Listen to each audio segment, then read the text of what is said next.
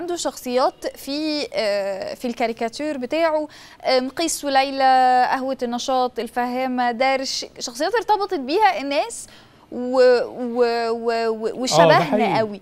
طبعا. دي أهمية أو إيه أهميتها بالنسبة لي للكاريكاتير في في بشكل عام و- وبالنسبة ل- أو بتقول إيه عن فكر صلاح جاهين نفسه كرسام؟ بص حضرتك هي ال- الشخصية في الكاريكاتير آه، يعني لازم يبقى في ظروف تستدعيها. يعني محدش فجأة في في ظروف عادية يقول أنا هعمل شخصية كذا. لا في ظروف بتبقى موجودة فالظروف دي اللي بتخلق الشخصية. هو الفنان بيترجم ده ويبدأ يعبر عنه. الفكرة في شخصيات صلاح جاهين آه، حاجة جميلة جدا.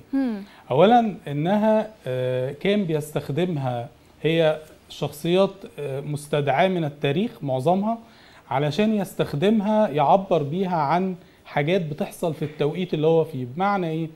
يعني مثلا لما يعمل آه، شخصية زي آه، عنتر ابن شداد.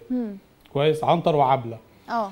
فهو هنا مش عايز يتكلم على عنتر وعبلة يعني الشخصيات اللي إحنا نعرفها هو عايز يتكلم يعمل إسقاطات على فكرة استخدام القوة الغاشمة. وده كان في التوقيت ده اللي هو فترة الخمسينات آه، آه، كان سياسيا كان آه، يعني موجود قوي يعني فكرة إنه يبقى في قوة عظمى مثلا زي في الوقت ده بريطانيا وفرنسا بعد. كده أمريكا وروسيا والقوة دي تقدر تستخدم القوة الغاشمة فهو عايز يعمل إسقاط على فكرة إنه القوة الغاشمة دي هتوديك فين يعني. القوة الغاشمة في عنتر وعبلة بس عشان يقربها للناس والناس تتابعها وتحس بيها فهو بيلعبها بالشكل ده.